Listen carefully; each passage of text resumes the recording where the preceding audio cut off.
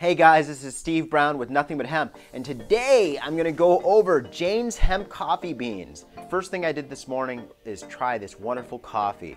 Really, really fresh, great aroma, a nice kind of fruity flavor, smooth tasting coffee.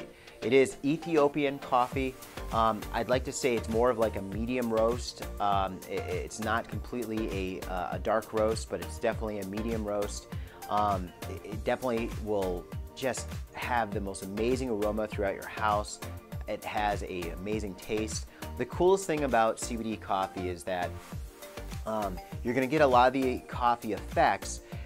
For me, the CBD counteracts the, the jittery feeling or the crash feeling that you actually receive from normal coffee. You know, I typically drink you know, two to three cups of coffee a day to keep me going. But when I actually take this CBD coffee, um, you know, I go down to about one. You know, there's no crash afterwards. I don't feel lethargic or tired. Um, I absolutely love it. But you really need to try our Jane's Hemp coffee beans. They're absolutely amazing. Uh, it comes in a one pound bag. As you can see here, it's absolutely uh, it's, it's a good sized bag. Pick up your Jane's Hemp coffee beans at Nothing But Hemp right on our online store.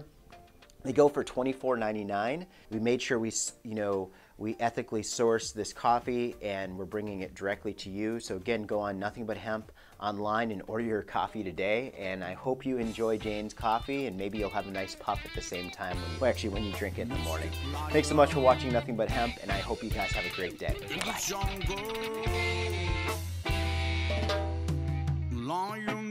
Jungle, lion in this concrete jungle, lion in the jungle.